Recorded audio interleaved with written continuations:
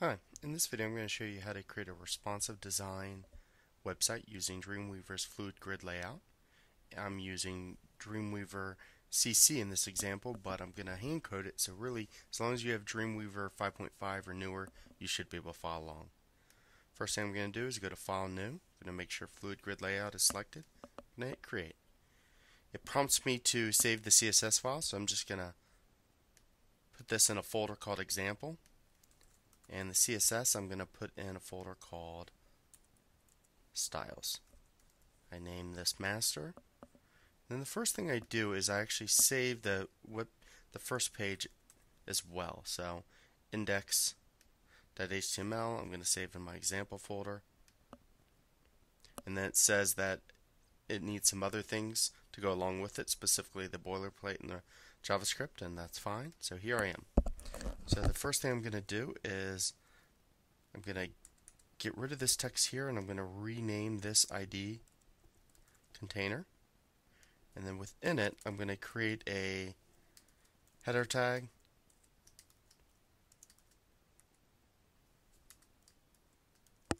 Nav tag. Section tag. And a footer tag. And then within these, I'm going to add the class fluid to my header and to my footer. This basically makes it, let's try that again. But I'm not going to actually add that to my section or my nav because I'm going to do a two different column layout. So hopefully it'll make sense. I'm going to have basically my nav float to the left and then have to the right the main page. So then sometimes I will also just add some basic text to help tell where or what each part is. So there it is. And so I actually just hit home in front of nav because that's going to later be my navigation, but if you want to be consistent, there you go. Alright, so then once you have this set up, the next step is to go to your master CSS, and it basically has the first part is where you put CSS that you want to apply to the whole page.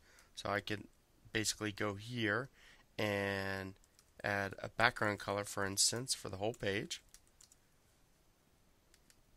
Right, so I could go over, let's say, gray, and then this is where I could say, you know, I want the font family for this whole page to be, say, Helvetica, so I'll get rid of this Gotham. So by doing this, this applies to the whole page. But then there's a part for mobile, a part for tablet, and then a part for desktop. So I'm going to work down here in desktop. I'm going to make sure I have desktop selected. So the first thing I'm going to do is I'm going to create my container.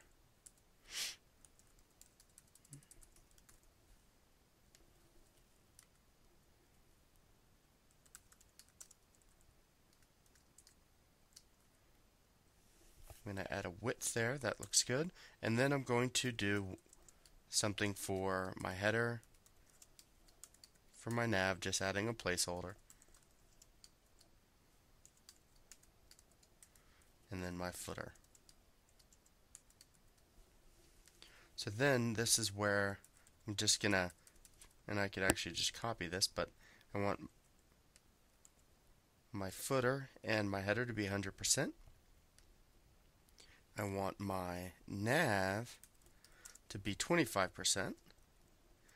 And I'm going to have this float left. And my section I'm going to have 75%. I'm going to have that float left. There's lots of ways you could do this. You could have one float left, one float right. And so you can kind of see it take shape there. And then I'm going to, oops, I spelled that wrong. I'm going to add some basic background. So background color for my container is going to be white. I'm going to do the same thing for my section here.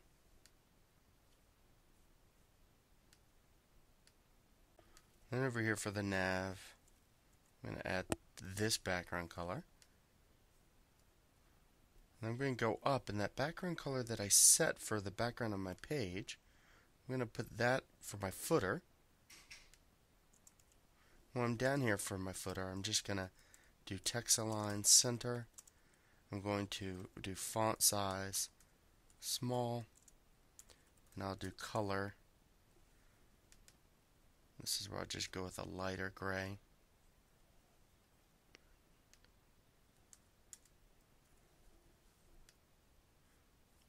Okay, so that looks pretty good. And then for my header, I'm going to do a background color. I will do that as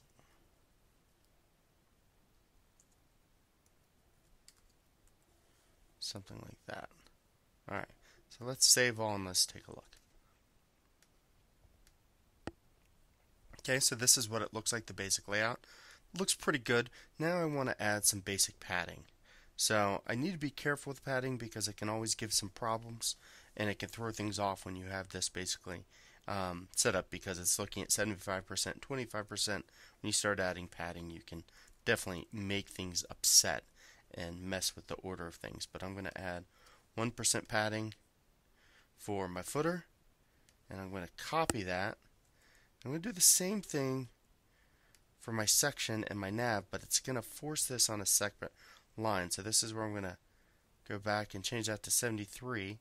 Nope. So I keep trying to get it right. 72, nope. There it goes. Okay. So I'm not going to add anything for my header because what I'm going to do with my header now is I'm going to go over here to my HTML and I'm just going to add an H1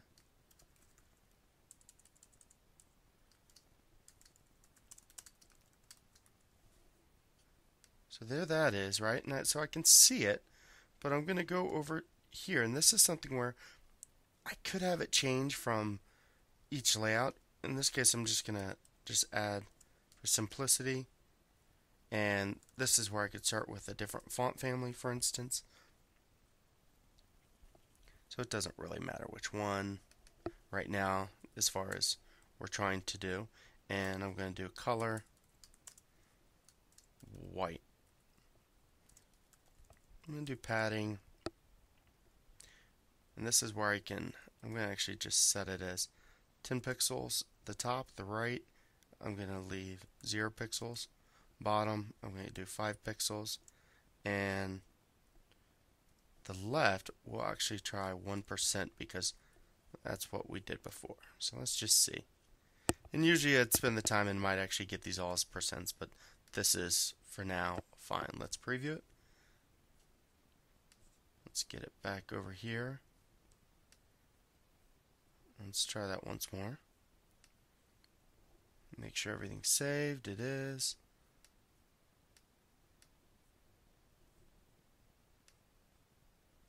Alright, so we definitely lost something along the way. So this is where you start to play around and see what it is it what got upset. There's definitely a space here. Right, so this is where you can jump over your HTML and see did something throw that off. Is the bottom padding giving it a problem, right? So this is where you just have to kind of play with this.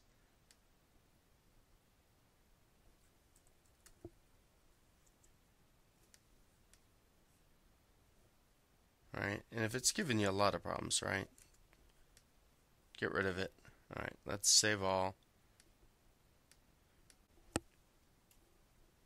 So it looks good. There's just still, you definitely need a little of that padding left. So go back up here and just say padding left 1%. Gotta make sure, uh, see, is where hand coding, you gotta make sure this is where hand coding, you got to make sure that you don't get rid of a semicolon or you don't get rid of a curly brace you need. Okay, but that's the basic layout. So we're going to do two more things here. We're going to start with two more at least. Home, page one, page two, and we'll just do that for now. And home, we're going to basically call index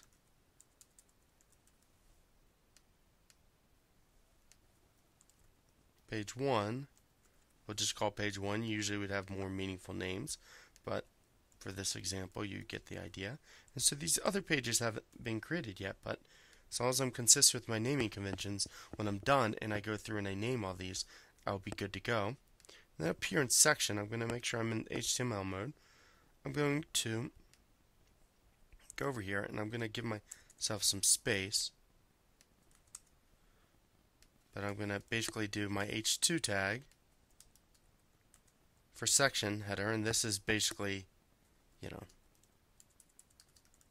main page header. Text, right, for your paragraph, and then you want to H3.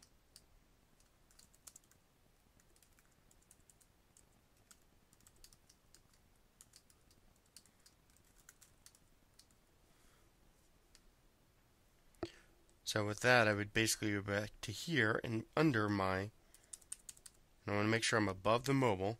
This is where I can do the same kind of thing for H2, H3. So I can copy this, put it down here. Maybe I don't want to deal with the same padding, right? But I do want to have margin bottom be 0 pixels.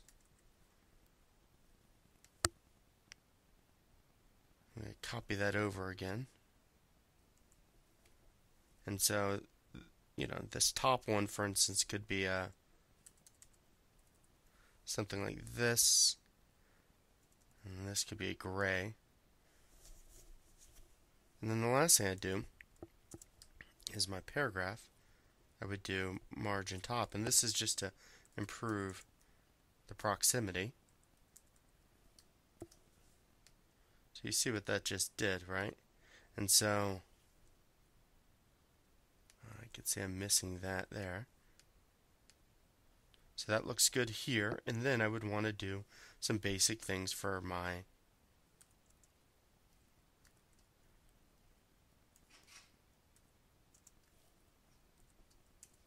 So for my links, I'm going to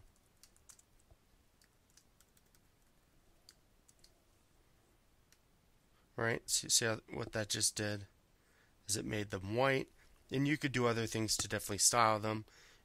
But let's right now just go to save all. And actually I notice I don't have a title.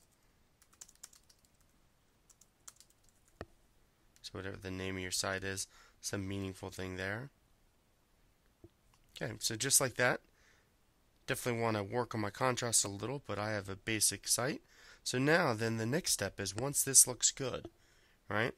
Down here what I'd want to do is I'd want to copy these and go up to my tablet. And this is where I could change this more depending on how it works. Usually I can get away with that but in the tablet, but in the mobile, this is where I want to change this to 100%. And this is where I want to change this to 100%. So now let's save all and preview.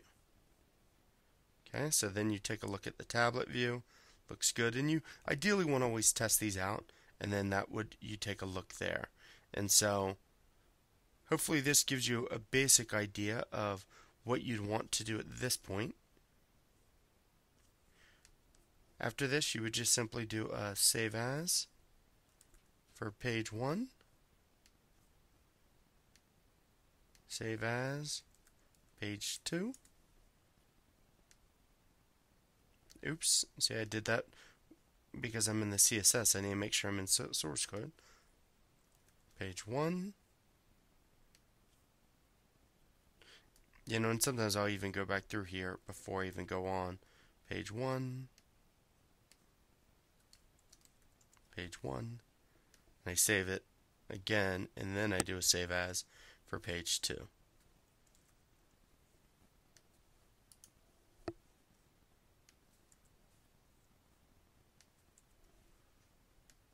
Save all. So now when I go back to this, what should happen is everything should work, right? So I click home, I stay here, I click on page 1, I go to page 1, I click on page 2, I go to page 2. So hopefully this gives you a basic idea how to create a basic left navigation responsive design website using a fluid grid layout in Dreamweaver. Thanks.